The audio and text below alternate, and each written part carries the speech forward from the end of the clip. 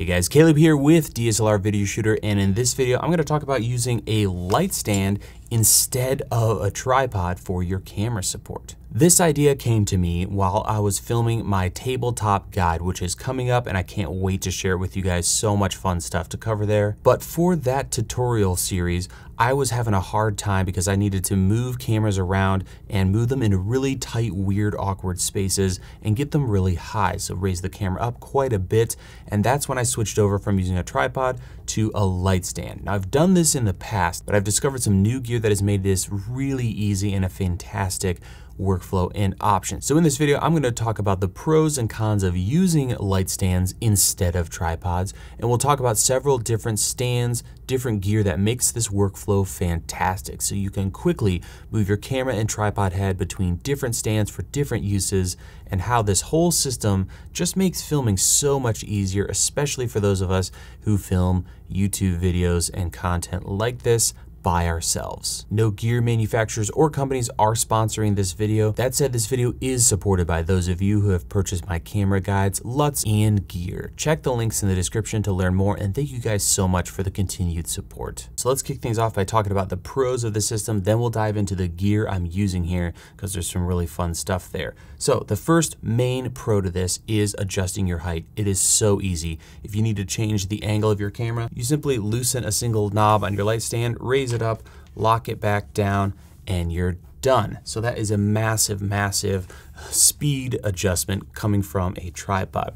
The other thing is movement. I can simply pick this thing up because it's not that heavy, move it around, and then of course the footprint is tiny. I can sneak this into small spaces depending on the light stand that I'm using. And that brings me to gear. We're gonna get to the stands I recommend here in a second, but I wanna start with the star of the show, at least for me, and that's going to be this tripod head. I've done a setup like this in the past multiple times, but the tripod head is always the tricky thing because it's kind of heavy and putting it at the top of a pole makes things a little wobbly. However, this tripod head is incredible. It is from Small Rig. I don't remember the model, but I'll include it in the description along with everything else we're talking about. And the first thing is it's super tiny, as you can see here if I wrap my hand around it.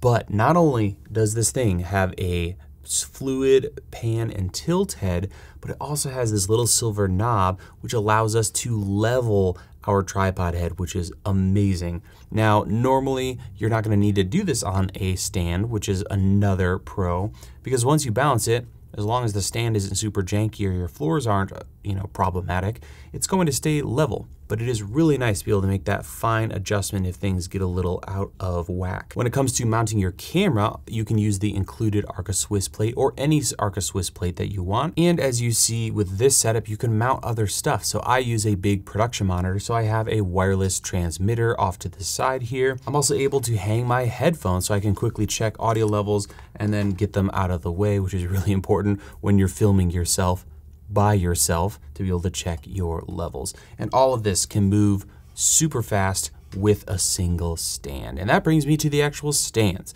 Now, you can go with really anything here, but there are three to four that I would recommend and I've used and has worked really well. The first is going to be a Came TV set of sticks. And what I love about these is how small they pack down, the fact that they are air cushioned, which means if you loosen a knob and your camera starts to drop, it'll actually slowly descend, which is really nice. And I also really like that the spigot at the top is removable, and that allows us to easily mount a tripod head or swap heads out or just add a quick release system to our head and add it to other stands, as well as being able to insert it at 90 degrees for tabletop setups, which is really convenient. By the way, stay subscribed. I have a huge tabletop guide coming that I'm gonna be pulling videos from here on the channel. Lots of fun stuff, can't wait to share it. Another thing I love about that stand is that the footprint can be really small. You can collapse the legs a little bit and get a really nice small footprint, which is great for tight spaces. The only thing I don't like about this stand compared to some of our other ones is going to be stability. It is a little wobbly once fully extended, especially if you're gonna have some weight at the top. So often if you hit record and the camera's way high, it might kind of sway a little bit and you kind of have to stabilize it. But I've totally been able to live with this because once the camera is still, we're good to go unless I smack it or bump into it. Our next stand is a big upgrade when it comes to stability and I'm using it right now actually. This is the Impact Heavy Duty Light Stand. It is also air cushioned, but it is much sturdier. You can see here, if I lean the camera over and just let go, it very quickly stabilizes. So this one is going to be great. If you don't want any wobble, it's just going to stand there. Now it might wobble a little bit if you put your camera super high up into the air, but it does come with some downsides. And the main one is going to be uh, the footprint. So these legs can only collapse so far uh, before they're not usable anymore. So you're going to take up a little more room on the ground, but it's still going to be super fast. It still has a removable spigot here, so if I wanted to take my headphones off here and then remove this camera and add it to another stand, I can simply do this, just remove it and add it to another accessory with that spigot, which I love. The other pro to this one is the height. You can take this thing, I think 13 feet in the air, which is a whole nother reason to go with a light stand for your tripod is you can get camera angles you just can't achieve with a tripod, which is fantastic. So that's the Impact Heavy Duty Light Stand. The next stand is going to be another Impact Rolling Stand. So this thing is awesome because you can collapse the legs, but it has wheels built in. Now to mount the tripod head is a little different. This does not have a removable spigot,